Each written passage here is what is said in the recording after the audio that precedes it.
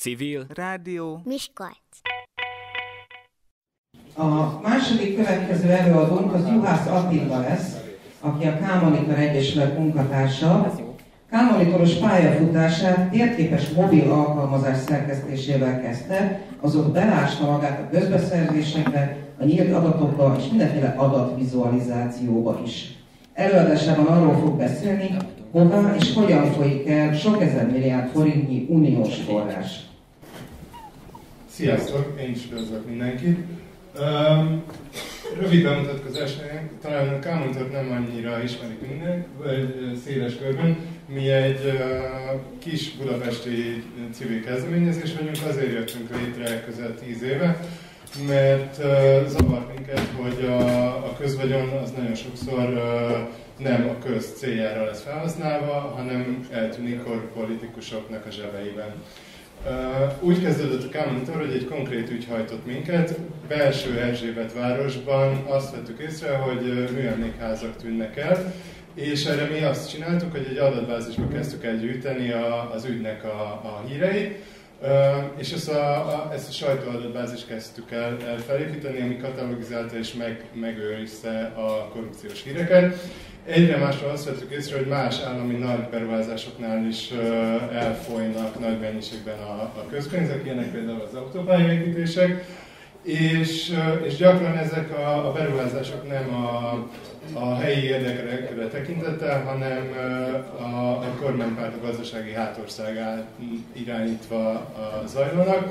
2010-ben ez úgy változott meg a, a választások után, hogy, hogy sokkal koncentráltabb lett a, a, az ilyen irányított közbeszerzés, a, egy ilyen új klientúraépítés kezdődött meg, aminek a hátterét nagyon sok esetben személyre szabott jogalkotás adta. Ilyen, ilyen törvényekként született meg a, a kaszinó koncesziók újraosztása, a dohány kereskedelem újraosztása, a Nemzeti Bank törvények, a Nemzeti Bank alapítványainak törvényei, vagy a, vagy a milliárdos sporttámogatásokat jelentő TAO törvény.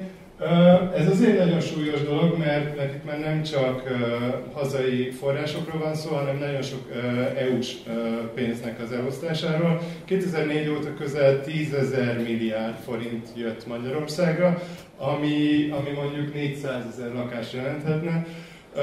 Történelmi példával élve ez olyasmi, mint a második világháború után volt a, a Marshall segély, amiből a, a háborús pusztítás után Nyugat-Európát rakták rendbe, és ebből lett például Bezzegország, Nyugat-Németország.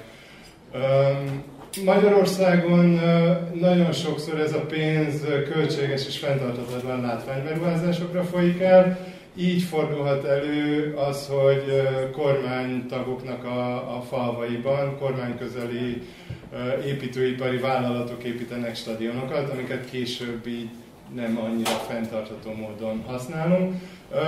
Ennek az a narratívája, hogy egy gazdasági klientúraépítés zajlik, ami, ami majd később így vissza fogja forgatni a hasznot. Lánci András, a Fidesz egyik fő, fő ideológusa határozta meg ezt a, úgy, hogy amit ma korrupciónak nevezünk, az a Fidesz egyik fő politikája.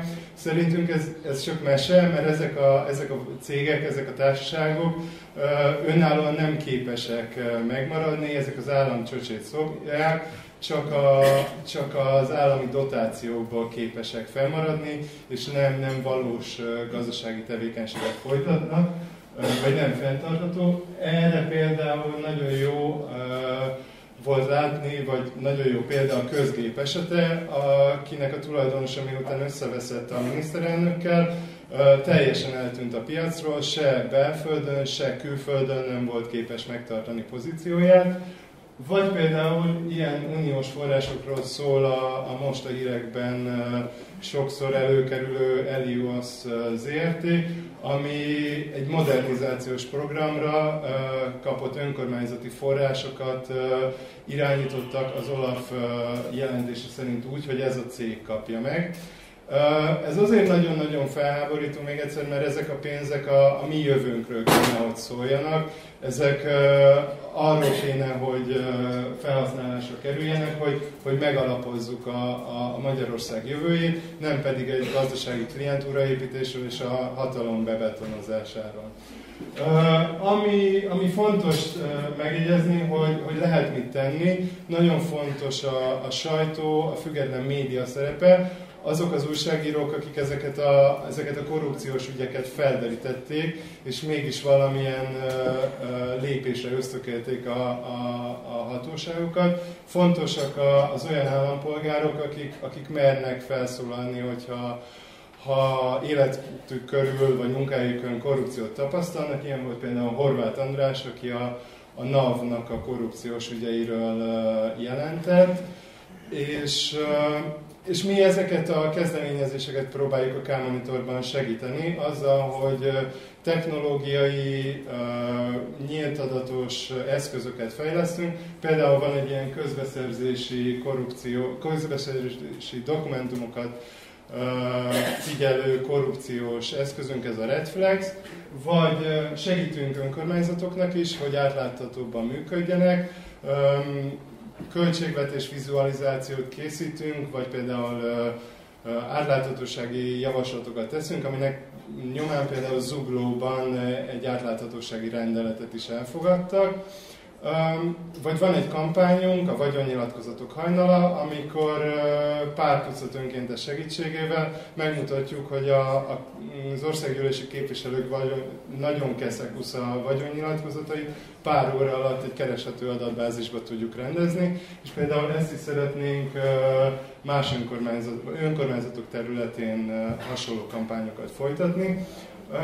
Még egy nagyon jó példa külföldről, Gdansk város önkormányzata, ahol, ahol állampolgárokból álló testületnek kell jóváhagyni a szakmai döntéseket, és, és állampolgárok betekinthetnek a, a, a költésekbe, a szerződésekbe. És nagyon fontos, hogy, hogy egy ember nem tudja megváltoztatni, vagy egy civil szervezet nem tudja felszámolni a, a korrupciót, viszont Viszont nekünk kell tenni azért, hogy, hogy Magyarország egy jobb hely legyen.